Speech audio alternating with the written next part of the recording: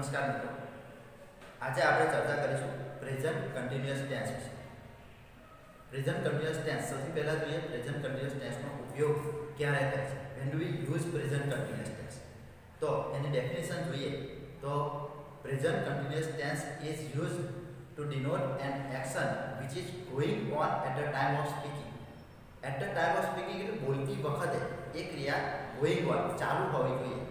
તો એના માટે પ્રેઝન્ટ કન્ટિન્યુઅસ ટેન્સનો ઉપયોગ થાય છે, જે તમે અહીંયા જોઈ શકો છો. હવે એના સ્ટ્રક્ચરની વાત કરીએ. સ્ટ્રક્ચર એટલે કે વાક્યરચના. પ્રેઝન્ટ કન્ટિન્યુઅસ ટેન્સની વાક્યરચના કેવી હોય છે? તો તમે અહીંયા જોઈ શકો એ પ્રમાણે પ્રેઝન્ટ કન્ટિન્યુઅસ ટેન્સની વાક્યરચનામાં સૌથી પહેલાં આવશે સબ્જેક્ટ પછી ઇઝ એમ કે આર આ ત્રણમાંથી એક વસ્તુ plus verb plus ING plus object plus other words આ થઈ પ્રેઝન્ટ કન્ટિન્યુઅસ ટેન્સની એક્ટિવ વોઇસની વાક્ય હવે પેસિવ વોઇસ એટલે કે કર્મણી વાક્ય. એનું જોઈએ.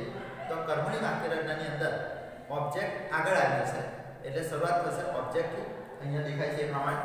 સૌપ્રથમ ઓબ્જેક્ટ ત્યારબાદ is am are plus be plus past participle of verb past participle of verb એટલે કે ક્રિયાપદનું ભૂતપૂર્વનું રૂપ. ભૂતપૂર્વ એટલે ત્રીજું રૂપ. ક્રિયાપદના ત્રણ રૂપ હોય છે. તમને ખબર હશે.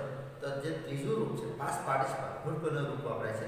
ત્યારબાદ બાય ત્યારબાદ સબ્જેક્ટ હવે જે સબ્જેક્ટ જે છે, એ સબ્જેક્ટ જે શરૂઆતમાં હતો એક્ટિવ વોઇસમાં એ પેસિવ વોઇસમાં પાછળ બાય લખ્યા પછી વાપરવામાં આવશે અને ત્યારબાદ અધર વર્ડ્સ આવશે.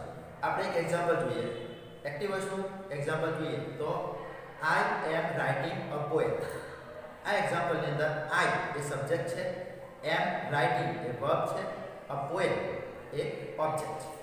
હવે એ એક્ટિવ વોઇસના વાક્યને આપણે પેસિવ વોઇસમાં ફેરવીએ તો, એ વાક્ય બનશે a poem is be written by me જે તમે અહીંયા જોઈ શકો છો, એ પ્રમાણે.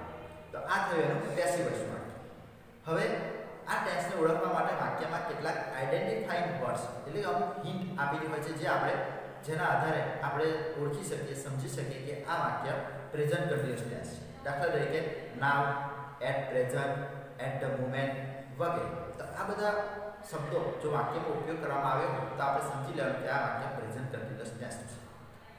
ઓકે?